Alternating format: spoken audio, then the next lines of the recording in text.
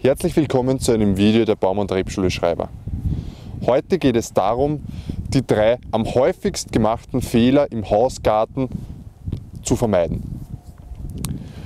Der wahrscheinlich am häufigsten gemachte Fehler ist, einjähriges Holz bei Bäumen einzukürzen und dadurch sich einen kleineren Baum oder geringes Wachstum zu erwarten, also somit den Baum klein zu halten. Und wir haben hier an diesem Baum ein schönes Beispiel für euch. Hier wurde dieser Ast im letzten Jahr zurückgeschnitten. Man sieht hier noch eine kleine Wunde, wir blenden euch das dann auch auf einem Foto ein. Und man erkennt hier sehr schön, dass der Baum im Folgejahr mit zwei sehr starken Trieben hier reagiert hat. Im Vergleich dazu haben wir hier einen Ast, der nicht geschnitten wurde und hier viele kleine Spieße macht, sich mit sehr vielen Blütenknospen garniert, der fruchtbarere Ast ist, in Zukunft mehr Früchte trägt und deutlich schwächeres Wachstum zeigt, wenn man ihn hier vergleicht. Also wenn man Bäume klein halten möchte, wenn man sie im Wachstum bremsen möchte und hohe Fruchtbarkeit erzielen möchte, ist es wichtig, einjährige Triebe auf keinen Fall einzukürzen, damit sie dann eben nicht wie hier mit starkem Wachstum reagieren, sondern gegebenenfalls nicht anzuschneiden, so wie in diesem Beispiel, oder auf flaches, schwaches Holz abzuleiten, indem man sie nicht einkürzt, sondern wegschneidet. Weiters kann man einen Baum im Wachstum ruhig halten, indem man dafür sorgt, dass er flache Äste hat. Wir haben hier ein sehr gutes Beispiel an, diesem Ast, an dem man sieht, wir haben hier einen sehr flachen Astabgangswinkel und hier hat er im letzten Jahr mit einem, ich würde sagen, idealen Neuzuwachs von ca. 30-40 cm reagiert. Hier wieder voll garniert mit Blütenknospen. Beste Wuchsbremse überhaupt sind eigentlich Früchte. Also Bäume, die viele Früchte tragen, werden immer schwächer im Wachstum sein als Bäume ohne oder mit wenig Früchten. Und solch einen flachen Astabgangswinkel kann man auch selbst erzeugen, indem man den Baum richtig formiert. Das kann man zum Beispiel machen, indem man sich hier eine Stelle sucht, wo er ähm, zum Beispiel einen kleinen Spieß hat und hier mit einer Schnur den Baum oder den Ast flacher bindet. Zusammenfassend noch einmal, Fehler Nummer 1 ist, wenn man einen kleinen Baum halten will, im Wachstum beruhigen und schwach halten möchte, darf man keine Triebe in der Hälfte einkürzen, sondern sie höchstens wegschneiden und auf flacheres, schwächeres Holz ableiten. Und es ist auch wichtig dafür zu sorgen, dass man eben keine zu steilen Äste oder Triebe hat und gegebenenfalls, falls nötig, diese selbst formiert und flach bindet. Der zweithäufigste Fehler, der leider oft passiert ist, dass auf den Pflanzschnitt vergessen wird. Dabei ist der Pflanzschnitt eigentlich der wichtigste im Leben eines Baumes. Er ist einfach essentiell, weil beim Ausschulen des Baumes aus der Baumschule, also beim Herausnehmen aus der Erde geht einfach Wurzelmasse verloren. Und diese, diese verminderte Wurzelmasse müsste jetzt hier oberirdisch die gleiche Anzahl an Knospen ernähren. Und das ist für den Baum Stress. Deswegen ist es eben so wichtig, den Pflanzschnitt durchzuführen. Und der fällt jetzt bei jeder Obstart unterschiedlich stark aus. Allgemein kann man sagen, dass Kernobst, also Apfel, Birne, ungefähr um ein Drittel eingekürzt werden sollte und das bei jedem Seitenast, auch die Stammverlängerung, das ist sehr wichtig.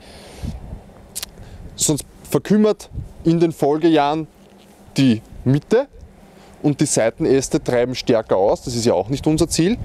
Bei Steinobst, Marille, Kirsche, Zwetschge sollte man ungefähr die Hälfte also jeden Seitenast um die Hälfte einkürzen, bei Pfirsich, Nektarine sogar um zwei Drittel. Ich habe hier jetzt bei mir einen einjährigen Marienbaum und den schneiden wir jetzt eben um circa die Hälfte zurück und das bei jedem Seitentrieb.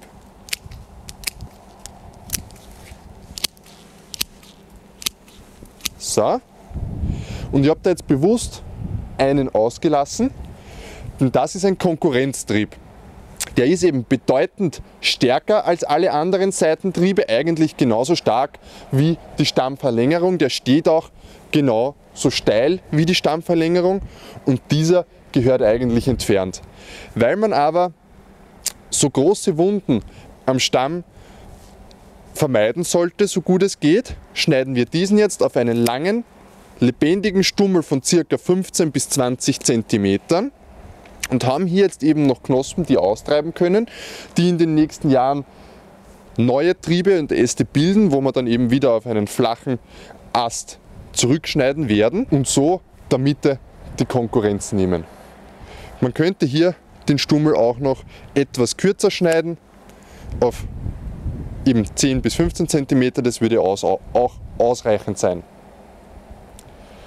Wichtig ist jetzt eben, wie schon angesprochen, die Stammverlängerung nicht zu vergessen. Auch die sollte circa um die Hälfte über der letzten Seitenverzweigung zurückgenommen werden, damit eben die Mitte in den Folgejahren vom Wachstum her nicht zurückbleibt und im Gegensatz zu den Seitenästen verkümmert.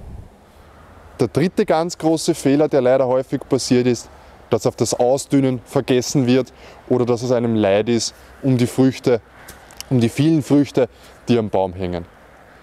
Ausdünnen ist ein Fachbegriff dafür, dass man eben kleine Früchte oder Blüten, bevor sie reif werden, vom Baum nimmt, damit die verbleibenden äh, Früchte besser ausreifen.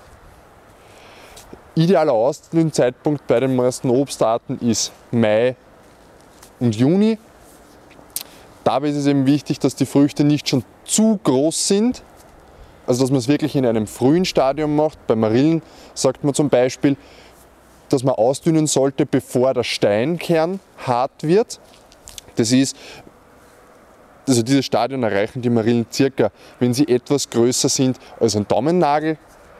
Also zu diesem Zeitpunkt sollte man bereits fertig ausgedünnt haben. Grundsätzlich gibt es eine Faustregel, die eben besagt, man braucht circa 8 bis 10 große, schön gut entwickelte Blätter pro Frucht, um eben eine gute Fruchtqualität zu erzielen. Beziehungsweise gibt es auch so eine Regel, man soll bei Steinobst, Marille, Pfirsich, Nektarine ungefähr eine Handbreite zwischen jede Frucht bekommen. Wenn auf das Ausdünnen vergessen wird, kann das nicht nur negativ für die Fruchtqualität sein, sondern auch noch weitreichendere Folgen haben. Zu viele Früchte am Baum sind Stress für die Pflanze und dadurch bekommt man auch keine gute Blütenknospenqualität fürs nächste Jahr. Und wenn es ganz extrem ist, wenn viel zu viele Früchte am Baum verblieben sind, dann kann sogar Alternanz auftreten. Das ist wieder der Fachbegriff dafür, dass es eben immer abwechselnd Trag- und Rastjahre gibt. Das heißt, ein Jahr hat der Baum viele Früchte und im nächsten Jahr beinahe keine oder gar keine Früchte. Das kann eben nur vermieden werden durch das rechtzeitige und richtige Korrigieren und Einstellen der Fruchtzahl. Noch einmal, der richtige Zeitpunkt ist bei Marille im Regelfall Anfang Mitte Mai, beim Apfel etwas später, eher Ende Mai bis Anfang Mitte Juni.